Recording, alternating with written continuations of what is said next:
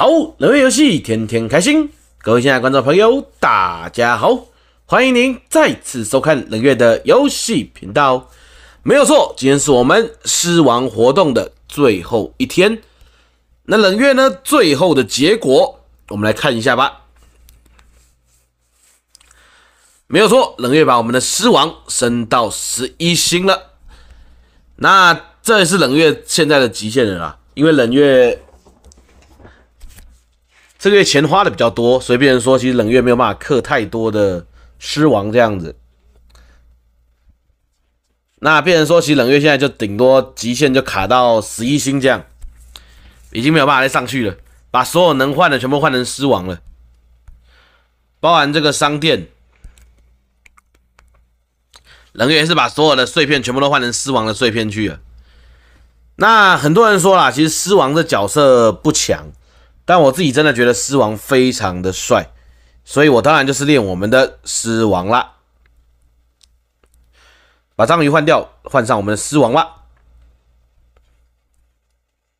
OK，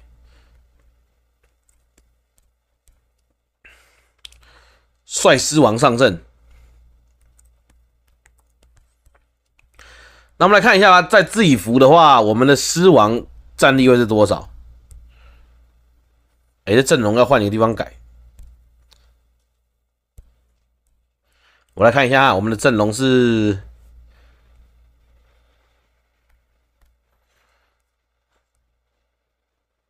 这阵容要怎么去改呢？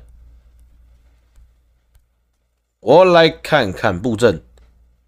哦，应该从这里去改。那我稍微改一下好了。先把我们的狮王丢上去。我们冒险玩法索性玩一下光队好了。等一下我现在光队可以组成什么样子。好，我现在光队大致可以组成这个样子啊。那我们就来看一下吧。哦。冷月的狮王现在全服第二名，果然啊，我们的米米大哥那战力真的比较够快的。哦，他符文用行空了，然后有开这个，嗯，哦，等级啊，等级差太多了，等级跟符文差太多了，没关系，我们把符文稍微拉一拉吧。那其实我符文的部分还没有搞到特别好啦，就是还在还在慢慢弄这样子。因为其实现在基本上来说，要弄符文的话难度有点高啊，资源不够啊。我想把紫的先卸掉，我们先把它拿来升我们的那个狮王的符文吧。来个穿透跟英勇好了。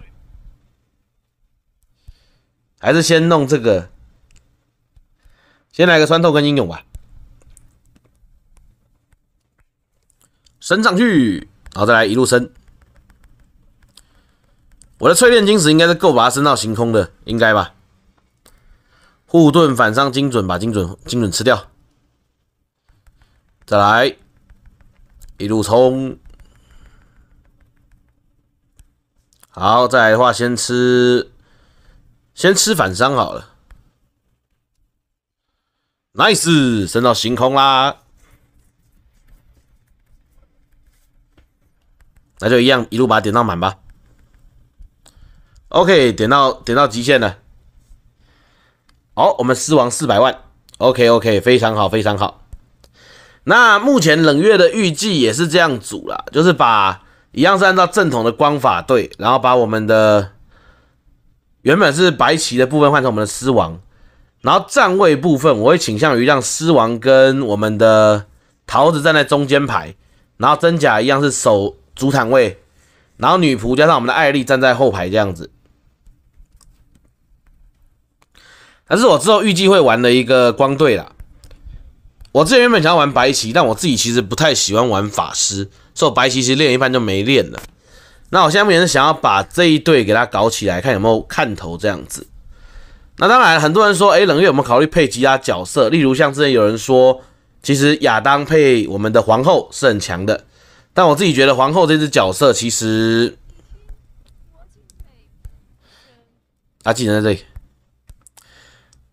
讲真的啊，我他配上亚当可以玩是死亡印记，以及加上在死亡印记下阵亡时会回血这样子，主要就是卡在这两个点，所以大家觉得说他很配我们的狮王，但我自己觉得是还好啦，因为在后期其实大家血都非常的厚，你要瞬秒敌方其实难度还是偏高的，所以我自己会觉得说这个部分就仅供参考，也算是一种玩法。当然了，亚当基本上一定是绑在桃子身上的，我必须要这样老实讲。桃子基本上太万用于战士的队伍了，甚至有些光法队也逼不得已得要用上我们的桃子，所以我自己觉得桃子跟亚当基本上可以绑在一起，然后真假可以保牌，让亚当不要那么快被秒。那艾丽就是控场，没话说。苏菲一样基本的大奶妈，所以我自己觉得其实这一队来玩应该也是 OK 的。那只是我们的艾丽呢？如果真的要玩，可能要等到有办法凑到那个觉满觉醒之后，才有办法达到它真正的强度，不然基本上都还是偏没啥用的这样子。来个波斯局啊，先穿一套波斯局啊。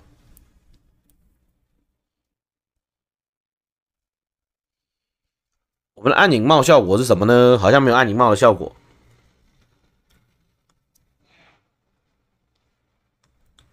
我先把我的紫色都吃光了，所以现在我如果要改魔偶阵容的话，只能拆以前的旧角色的阵容来弄这样子。这个不重要。然后呢，冷月现在开始存那个碎片了，打算等到我们的狮王正式加入之后，再一口气开掉。到时候再拍一支影片，跟大家稍微看看冷月究竟够不够欧洲这样子。那再跟大家分享一下，冷月这六天还七天的狮王，最后养成结果就是在十一星这样子。那讲真的啊，也磕了不少在他身上。那如果想要让冷月稍微回点本的话呢，就把这支影片稍微分享出去，让点阅数高一点，这就是帮冷月一个很大的忙了。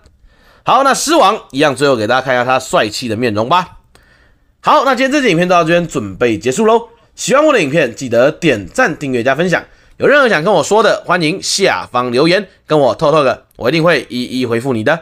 人类游戏天天开心，就让我们下一支影片再见喽，See you next time，拜拜。